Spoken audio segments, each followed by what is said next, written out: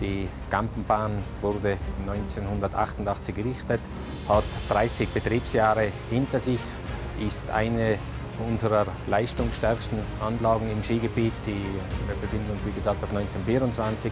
Die Bergstation liegt auf 2852 Meter Seehöhe, überwinden also über 900 Meter Höhenunterschied und ist eine der leistungsstärksten äh, Sesselbahnen, die es weltweit gibt.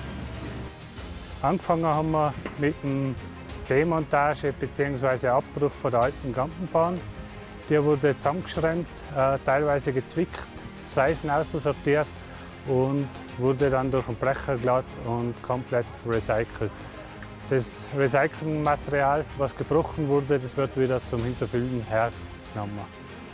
Zum jetzigen Zeitpunkt haben wir ca. 214 Tonnen Stahl eingebaut und verarbeitet. Dazu kommen ca. 1400 Kubikmeter Beton, was eingebaut wurde. In sieben oder acht Arbeitstagen haben wir fast 2000 Quadratmeter Hohlwände versetzt. Neben der Seilbahntechnik ist auch ein neuer Gastronomieteil. Es wird ein Gastroteil errichtet, ein Streetfood-Bereich soll eine eher jüngere Publikumsschicht ansprechen. Ebenfalls im Bereich Filmportal ein neues Objekt, das hinzukommt, und zwar ca. 80 Höhenmeter oberhalb der derzeitigen Talstation der Gampenbahn. Dort wird ein neues Bedienungsrestaurant entstehen, das ist die sogenannte Gampenalpe. Wir befinden uns auf der Gampenalpe.